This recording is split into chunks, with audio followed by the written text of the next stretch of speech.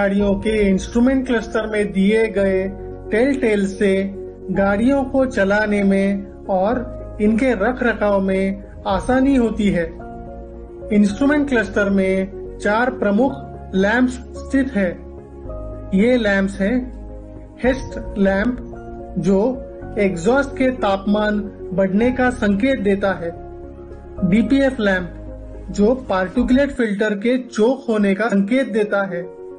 Def lamp, जो def की खराब क्वालिटी या डेफ की मात्रा बहुत कम होने का संकेत देता है।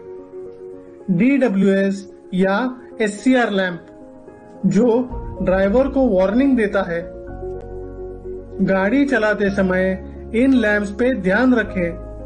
अब इन लैंप्स के ऑन होने पर क्या संकेत मिलते हैं और क्या करना चाहिए, ये देखते हैं। एग्जॉस्ट सिस्टम में सूट या पार्टिकुलेट मैटर जमा होने पर इंस्ट्रूमेंट क्लस्टर पे लगा डीपीएफ लैम्प जल उठता है। ऐसे समय पर गाड़ी को किसी खाली और सुरक्षित जगह पे खड़ा कर डैशबोर्ड पे स्थित रीजनरेशन स्विच को दबाना होता है, जिससे डीपीएफ में जमा पार्टिकुलेट मैटर जल जाते हैं। इस प्रक्रिया के खत्म होते ही डीपीएफ लैंप बंद हो जाता है और गाड़ी को फिर से चलाया जा सकता है।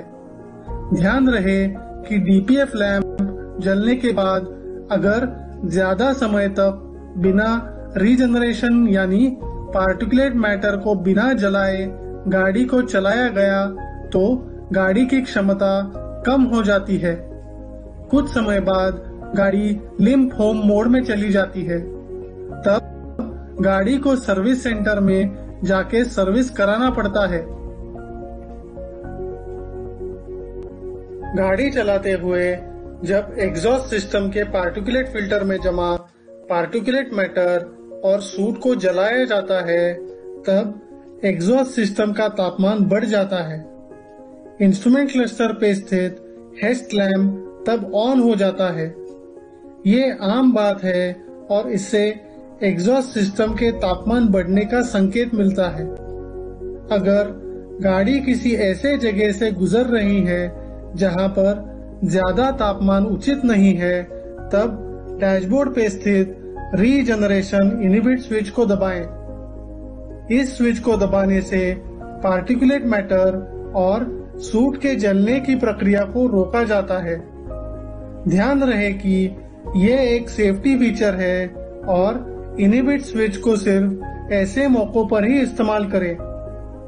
गाड़ी के ऐसे जगह से निकलने के बाद इनिबिट स्विच को ऑफ़ करना ज़रूरी है, ताकि पार्टिकुलेट मैटर को निरंतर जलाया जा सके।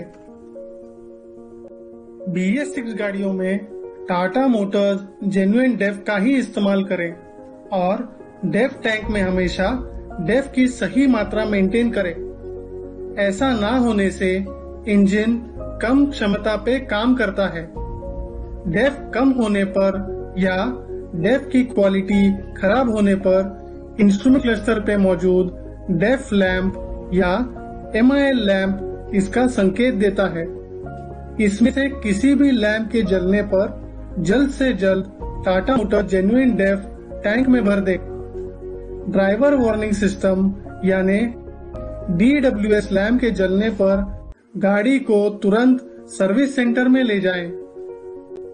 गाड़ी चलाते हुए कुछ ज़रूरी चीज़ों का ध्यान रखें। गाड़ी हमेशा हेवी मोड में ही शुरू करें और ज़रूरत के अनुसार मीडियम मोड या लाइट मोड में चलाएँ। खाली गाड़ी को लाइट मोड में ही चलाएँ। ज़्यादा से ज़्यादा फ्यूल इकोनॉमी स्विच के मोड्स का इस्तेमाल करें और अगर अधिक बल की ज़रूरत हो तो ही गियर चेंज करें। चढ़ाई पर चढ़ते हुए या ढलान से नीचे जाते समय सही गियर और मोड़ में गाड़ी चलाएँ। चढ़ाई चढ़ने से पहले हिल स्टार्ट असिस्ट को एक्टिवेट करें। ध्यान रहे कि एचएसए के सही चलने के लिए एबीएस सिस्टम का सही होना ज़रूरी है।